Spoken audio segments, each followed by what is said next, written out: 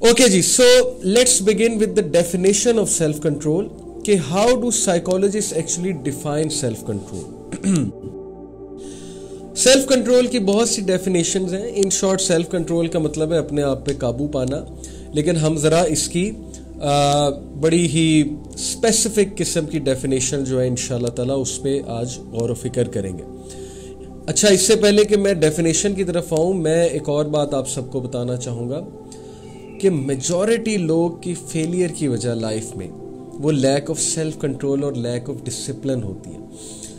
यहाँ से साबित हुआ कि discipline self control fortitude patience forbearance all these things ये इंसान की क्वालिटीज में से टॉप मोस्ट क्वालिटीज है। किसी का बहुत अच्छा होना ये अच्छी क्वालिटी है, उसका अखलाक अच्छा होना, उसका इंटेलिजेंट होना ये बहुत अच्छी क्वालिटी है। लेकिन बहुत से लोग जहीन होने के बावजूद सेल्फ कंट्रोल में आके मार खा जाते और मेरे एक टीचर बात किया करते थे बड़े काबिल टीचर थे यूनिवर्सिटी के, वो कहते थे कि जहीन बंदा अगर मेहनत नहीं करेगा ना, अगर रेजिलियंस नहीं दिखाएगा तो वो पीछे रह जाएगा। और उससे कम जहीन बंदा जो इतना जहीन नहीं है वो सेल्फ कंट्रोल और रेजिलियंस की बेसिस पे बहुत ऊपर आ जाएगा, मेहनत की बेसिस पे बहुत ऊपर आ जाएगा। और इंग्लिश में एक प्रोवर्ब भी है ना कि when talent does nothing hard work beats talent actually it's the opposite hard work beats talent when talent does nothing सिर्फ़ टैलेंट होने का कोई फ़ायदा नहीं है, सिर्फ़ इंटेलिजेंस होने का कोई फ़ायदा नहीं है।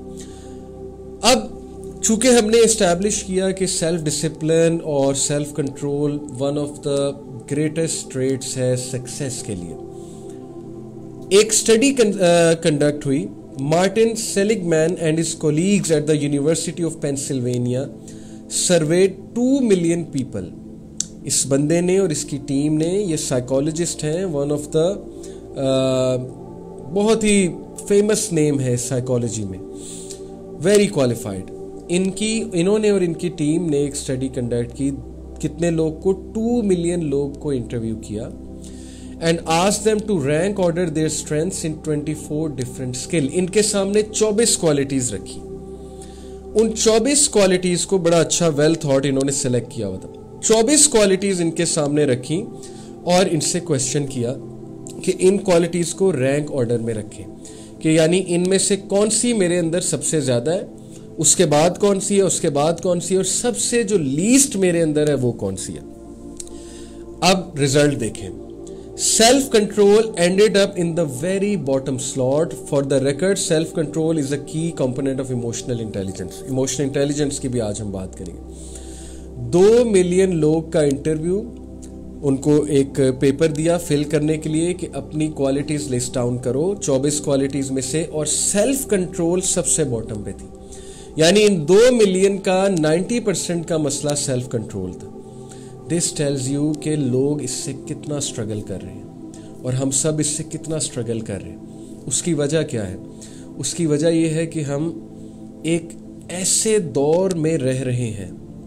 मैं आपको अब डोपामीन का भी ज़िक्र करता हूँ। इन आपको पता लगेगा कि इस वक्त हमारे ब्रेन पे क्या गुजर रही है। हमारे ब्रेन के साथ जो है वो गेम क्या हो रही है। देखें डोपामीन वो केमिकल है, वो हार्मोन है जो हमारी बॉडी से निकलता है। हमारे ब्रेन में कुछ रिवॉर्ड के एरियाज़ होते हैं, सेंटर्स ऑफ़ रिवॉर्ड होते हैं, उनमें से निकलता है। जब कभी भी कोई काम ऐसा हम करेंगे जो जिसमें मेहनत नहीं है, शॉर्टकट के थ्रू हो गया, जिसमें ईज है बहुत ज़्यादा, जिसमें कन्वीनियंस है बहुत ज़्यादा, और जिसमें ज़ाहिर एक्साइटमेंट है बहुत ज़्यादा। और जिसमें रिवॉर्ड है बहुत ज़्यादा। अब जिस वर्ल्ड में हम रह रहे हैं, इसमें टेक्नोलॉजी की वजह से इतनी ईज क्रिएट हो चुकी है। मैं आपको छोटी सी मिसाल देता हूँ, किसी दौर में हमें बाज़ार में खड़ा होना पड़ता था, थोड़ा चलना पड़ता था, रिक्शे वाले से बहस करनी पड़ती थी, रिक्शा ढूंढना पड़ता था। अब हमें बैठे बैठे करीम मिल जाती है उबर मिल जाती है। मैं करीम या उबर के खिलाफ नहीं हूँ, ना ही मैं इसको नेगेटिवली प्रोट्रे कर रहा हूँ। मैं आपको बताना ये चाह रहा हूँ कि जिस दौर का हम हिस्सा बन चुके हैं, इसमें कन्वीनियंस और इसमें ईज बहुत ज़्यादा है, जिसकी वजह से आम आदमी की डोपामीन की आज से लेट से 20 साल पहले का जो इंसान था, या 1970s के जो ह्यूमन बींग्स थे, उनसे बहुत ज़्यादा अब चूँकि हमारी डोपामीन की वैल्यू बहुत ज़्यादा है तो हर वो चीज़ जिससे डोपामीन मिलेगी, हर वो चीज़ जिससे इंस्टेंट रिलीफ मिलेगा हर वो चीज़ जिससे शॉर्टकट नज़र आएगा, हर वो चीज़ जिससे कन्वीनियंस नज़र आएगी तो उसकी तरफ़ हम तेज़ी से जाएँगे। जब हम उसकी तरफ़ तेज़ी से जाएँगे तो ज़ाहिर है कि हमारा सेल्फ कंट्रोल और सेल्फ डिसिप्लिन फिर कहाँ जाएगा? सोचने की बात है। यही वजह है कि हम लोग अब रेजिस्ट नहीं कर पाते टेम्पटेशंस को। हमारे जो बड़े थे, सुनने में आता था, उनमें बड़ी फॉरबीरेंस है, उनके फॉरबीरेंस के बर्दाश्त के किस्से सुनाए जाते थे। आप सोचें कि आज से 20 साल बाद हमारी जनरेशन के क्या किस्से सुनाए जाएँगे? क्या हमारी जनरेशन के फॉरबीरेंस के किस्से सुनाए जाएँगे? बर्दाश्त के किस्से सुनाए जाएँगे? सबर के किस्से सुनाए जाएँगे? या हमारी जनरेशन के ये चीज़ें मेंशन की जाएगी कि इन इन, इस जनरेशन की तो डिवोर्सेज ही बहुत होती थी। इस जनरेशन में तो की चीज़ ही कोई नहीं थी। इस जनरेशन में तो टेम्पटेशन रेजिस्ट करने का कॉन्सेप्ट ही कोई नहीं था। तो वी डोंट वांट दैट हम नहीं चाहते कि हमारे बारे में कल को हमारी औलादों को ये बात बताई जाए। वी वॉन्ट कि हमारी अच्छी मिसाल दी जाए। तो इस हवाले से ये टॉपिक डिस्कस होना बहुत ज़रूरी है और इसकी मेन वजह कि इतना बड़ा चैलेंज क्यों बन गया, मैंने आपको डोपामीन की साइंस बताई कि जितनी डोपामीन की वैल्यू बढ़ जाएगी, उतना इंसान कन्वीनियंट पसंद हो जाएगा। उतना इंसान अपनी ख्वाहिश को पूरा करने की तरफ़ जाएगा। ठीक है जी? ओके तो हमने पॉइंट स्टैब्लिश किया that the secret to self that the secret to success is self control and self discipline ठीक है, ये हमने पॉइंट स्टैब्लिश किया।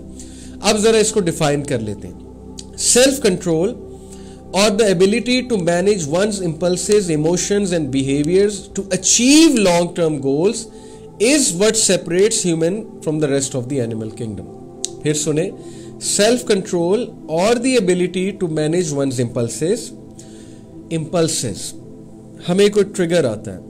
वो ट्रिगर जब हमारे ब्रेन को जाता है, हमारे ब्रेन में न्यूरॉन्स हैं, वो न्यूरॉन्स कनेक्शंस बनाते हैं और हमारे ब्रेन में जो एरिया इन ट्रिगर्स को सॉल्व करने के लिए रिस्पॉन्सिबल है that is the pre frontal cortex decision making लेने के लिए। यकीन करें, इस एरिया के पास फ्रैक्शन ऑफ़ अ सेकंड होता है कि इस चीज़ पे अमल करना है कि नहीं करना है। मिसाल के तौर पे आपके लिए एक ट्रिगर आया। ट्रिगर ये है कि आपको किसी ने कोई बहुत ही बुरी बात की, आपकी इज़्ज़त नफ्स बहुत हर्ट हुई और आपको शदीद गुस्सा चढ़ गया। अब आपको ट्रिगर आया कि गुस्से होना है। अब आपके पास यकीन करें फ्रैक्शन ऑफ़ अ सेकंड का टाइम है डिसाइड करने के लिए कि गुस्से होना है कि गुस्से नहीं होना, जबान को दबा लेना है कि नहीं दबाना। तो ये है बेसिकली सेल्फ कंट्रोल कि अपने इम्पल्सिस को मैनेज करना इमोशंस को मैनेज करना बिहेवियर्स को मैनेज करना। Why to achieve long term goals ताकि हम एक लॉन्ग टर्म गोल इस्टेब्लिश कर सकें, ताकि हम अपने आप को मनवा सकें। और बाय द वे ये एक रिसर्च है कि वो लोग जिनकी इमोशनल इंटेलिजेंस आम बंदे से ज़्यादा है, ये एक रिसर्च मैं आपसे ज़िक्र कर रहा हूँ। Emotional intelligence is equivalent to self control trust me जिसकी इमोशनल इंटेलिजेंस आम बंदे से ज़्यादा है, उसकी सैलरी बढ़ने के चांसेस बावन फ़ीसद ज़्यादा है। 52 परसेंट उनको इंक्रीमेंट आम बंदे से ज़्यादा मिलता है।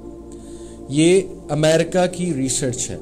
यानी अगर आपके बॉस या आपके एम्प्लॉयर को ये पता लग जाए कि ये बंदे में सेल्फ कंट्रोल ज़्यादा है, बंदा मेहनती है, ये बंदा झूठ नहीं बोलता, वगैरह वगैरह तो बावन फ़ीसद आपकी ग्रोथ के चांसेस बढ़ जाते हैं आम इंसान से ज़्यादा। Okay this is the importance of self control